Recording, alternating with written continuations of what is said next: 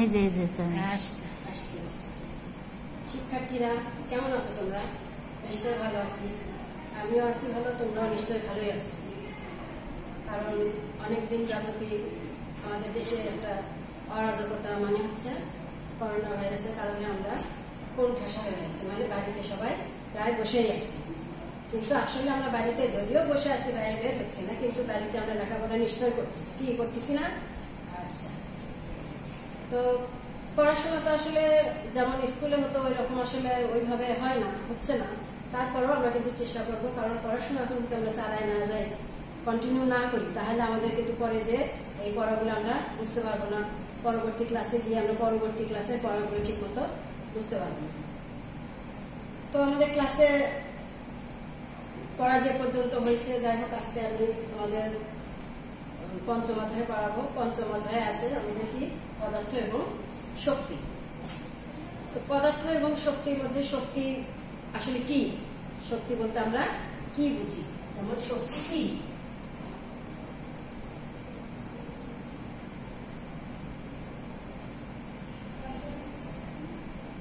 বলতে পারবে? শক্তি কি? শক্তি হচ্ছে কোনো কিছু করার সামর্থ্যকে আমরা কি বলব? শক্তি বলব। অর্থাৎ সামর্থ্য জিনিসটা আবার কি?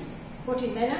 সামর্থ্য জিনিসটা হচ্ছে কোনো কিছু করার ক্ষমতা যে আমি এই কাজটা করতে পারব, এই যে করতে পারব, এটাই হচ্ছে শক্তি। মানে আমার শক্তি আছে জন্য আমরা কাজটা করতে পারব। এই কোনো কিছু করার ক্ষমতাটা, এই ক্ষমতাটাকেই বলা হয় শক্তি।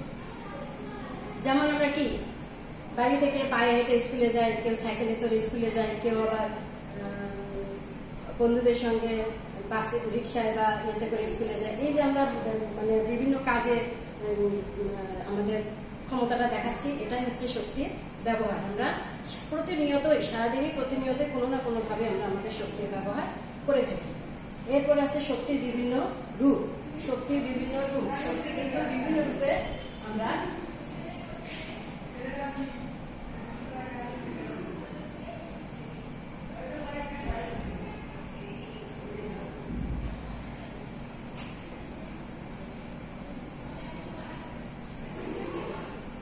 শক্তির বিভিন্ন রূপের মধ্যে আছে হচ্ছে আমাদের শক্তি বিভিন্ন রকম, যেমন বিদ্যুৎ শক্তি আছে, যান্ত্রিক শক্তি আছে, রাসায়নিক শক্তি আছে, তাপ শক্তি আছে, আলো শক্তি আছে। বিদ্যুৎ শক্তিটা আমরা কি কাজে ব্যবহার করি? বিদ্যুৎ শক্তির সাহায্যে আমরা কি করি? আমাদের বাড়িতে লাইট চলে ফ্যান চলে কম্পিউটার চালাই, আমরা গান শুনি, তারপরে আমাদের বাড়িতে ব্যবহার করা ফ্রিজ ওয়াশিং মেশিন ইত্যাদি আমরা চালায়, এই এই জিনিসগুলো আমাদের চালাতে ইলেকট্রনিক জিনিসগুলো চালাতে যে শক্তির প্রয়োজন, সেটা হচ্ছে আমাদের বিদ্যুৎ শক্তি। এরপর আছে যান্ত্রিক শক্তি, অর্থাৎ কোনো কিছু চলার জন্য যে ক্ষমতাটা, সেটাকে বলা হয় যান্ত্রিক শক্তি। অর্থাৎ যেমন কোন চলমান বস্তু যখন যে শক্তিতে চলে, সেই শক্তিটাই হচ্ছে যান্ত্রিক শক্তি। যেমন গাড়ি চলে, তারপরে সাইকেল রিক্সা ইত্যাদি বিভিন্ন জিনিস চলতেছে, এই যে চলার ক্ষমতাটা, চলমান বস্তুর যে ক্ষমতা, এটাই হচ্ছে তার যান্ত্রিক শক্তি। তারপরে আছে আলোক শক্তি। আলোক শক্তি আমরা বিভিন্ন কাজে ব্যবহার করি। আলোর সাহায্যে কি হয় আমরা দেখতে পারি। আলো ছাড়া আলোর অনুপস্থিতিতে আমরা কোনো কিছু দেখতে পারি না যেমন, আমরা সূর্য থেকে আলোটা আমরা পাই কোথা থেকে? সূর্য থেকে পাই। আলোটা কীভাবে চলাচল করে? কোনো স্বচ্ছ মাধ্যমের মধ্যে দিয়ে আলো সাধারণত চলাচল করে। তারপরে আছে আমাদের হচ্ছে শব্দ শক্তি শব্দ শক্তি মানে বস্তুর কম্পনের ফলে যে শক্তির সৃষ্টি হয়, এই শক্তিটাই হচ্ছে শব্দ শক্তি এই শব্দ শক্তির মাধ্যমে আমরা কি করতে পারি? শুনতে পারি। শব্দ শক্তি শব্দটা যদি আমরা অনুভব করতে না পারতাম, না বুঝতে না পারতাম, তাহলে কিন্তু আমরা কান শুনতে পারতাম পারতাম না। এটাই হচ্ছে শব্দ শক্তি এরপর আছে তাপ শক্তি তাপ শক্তি, তাপ তাপও এক প্রকার শক্তি। কারণ তাপ যদি না হতো, যেমন আমরা যখন কাপড় ইস্ত্রি করি, এতে যদি ইস্ত্রিটা যে গরম বিদ্যুতের সাহায্যে গরম করি, এখানে যদি তাপ সৃষ্টি না হতো, তাহলে কিন্তু আমরা কাপড় ইস্ত্রি করতে পারতাম না। এই জন্য আমরা ইস্ত্রি থেকে কিন্তু এই তাপ শক্তি পেয়ে থাকি। এরপর আছে রাসায়নিক শক্তি। রাসায়নিক শক্তি আমরা সাধারণত গাড়ির তেল তেল যেমন তেল পুড়ে গাড়ি, গাড়িকে চলতে সাহায্য করে। এই শক্তিটা হচ্ছে রাসায়নিক শক্তি। তারপরে আমরা যে খাবারটা খাই, খাবারটা খাওয়ার ফলে আমরা কি পাই? শক্তি পাই না? এই খাবারটা খাওয়ার ফলে এই খাবারটা বিভিন্ন প্রক্রিয়ার মাধ্যমে যে শক্তিতে রূপান্তরিত হয়, সেটাই হচ্ছে আমাদের রাসায়নিক শক্তি। তাহলে আমরা শক্তির বিভিন্ন রূপ সম্পর্কে জানতে পারলাম। শক্তি কি সে সম্পর্কে আমরা জানতে পারলাম। এরপরে আমরা আসব শক্তি উৎস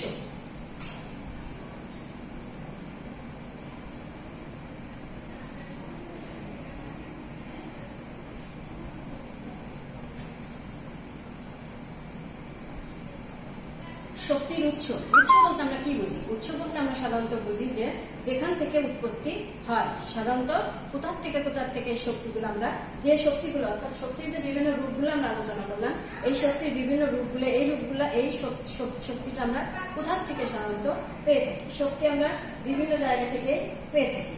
গাড়ি যেমন তেলের গাড়ি তেলের মাধ্যমে চলে, তেল থেকে শক্তি পায়। আমরা খাবার খাই, খাবার না খেলে আমরা চলতে পারি না। খাবার খাই, খাবারটা আমাদের শরীরে শক্তি যোগান দেয়, তাহলে খাবার থেকেও আমরা শক্তি পাই। তারপরে উদ্ভিদ যখন উদ্ভিদ যখন খাদ্য তৈরি করতেছে, এই খাদ্য তৈরি করতেও সে শক্তির ব্যবহার করে থাকে। আর এইভাবেই আমরা আসলে শক্তিটা পেয়ে থাকি। তবে সকল শক্তির মূল উৎসই কিন্তু হচ্ছে আসলে কি বলতো? সূর্য হ্যাঁ। সকল শক্তির উৎস হচ্ছে সূর্য। এই সূর্য থেকে প্রাপ্ত শক্তিটাই বিভিন্ন সময়ে বিভিন্ন ভাবে বিভিন্ন রূপে আমাদের বিভিন্ন কাজে আসে। এই জন্যই আমরা সাধারণত বলে থাকি যে শক্তির মূল উৎস বা প্রধান উৎস হচ্ছে কি? সূর্য। এরপরে আসো শক্তির বিভিন্ন শক্তির রূপান্তর। শক্তির রূপান্তরটা কি? শক্তির রূপান্তর হচ্ছে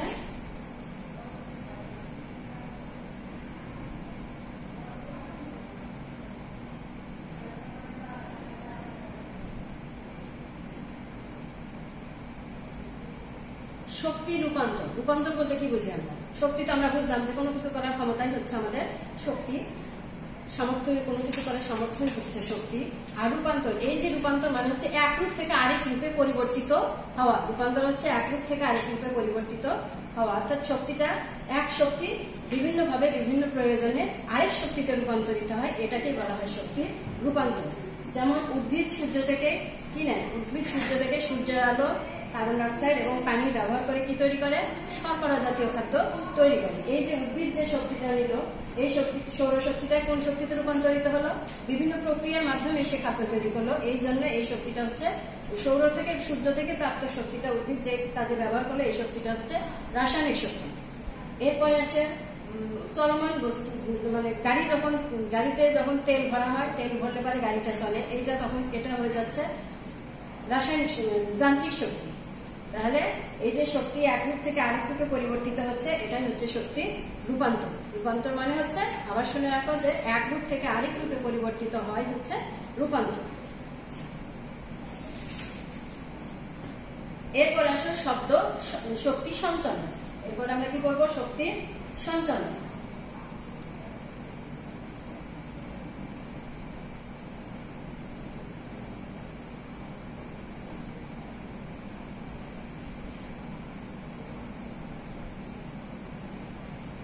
শক্তির সঞ্চালন শক্তি তো আমরা বুঝি। এতক্ষণ জানলাম, শুনলাম, যাই হোক। সঞ্চালন জিনিসটা কি? সঞ্চালন জিনিসটা কি তোমরা বোঝো? সঞ্চালন মানে হচ্ছে চলাচল করা। অর্থাৎ স্থির অবস্থান থেকে অন্য জায়গায় চলাচল করা বা গমন করাই হচ্ছে সঞ্চালন। যেমন তুমি স্কুলে থাকো, স্কুল থেকে তুমি বাড়িতে যাচ্ছ, বাড়ি থেকে তুমি প্রাইভেটে যাচ্ছ বাড়ি থেকে তুমি বিভিন্ন আত্মীয় বাড়ি যাচ্ছ, বন্ধুর বাড়ি যাচ্ছ, এই যে তুমি এক স্থান থেকে অন্য স্থানে গমন করলে এটাই হচ্ছে তোমার সঞ্চালন। যে সঞ্চালন করে তার, যে চলাচল করে তার সঞ্চালন হচ্ছে সেটাই। যে, এক জায়গা থেকে আরেক জায়গায় চলাচল করাই হচ্ছে সঞ্চালন। শক্তিও কিন্তু এক জায়গায় স্থির থাকে না। শক্তি বিভিন্নভাবে, বিভিন্ন সময়ে, বিভিন্ন প্রয়োজনে, বিভিন্ন কারণে এক জায়গা থেকে অন্য জায়গায় চলাচল করে। একেই বলা হয় শক্তি সঞ্চালন। আচ্ছা শক্তি সাধারণত দেখা যায় তার শক্তির বিভিন্ন উপায়ে সঞ্চালিত হতে পারে। এর মধ্যে আসা, দেখো তাপ শক্তি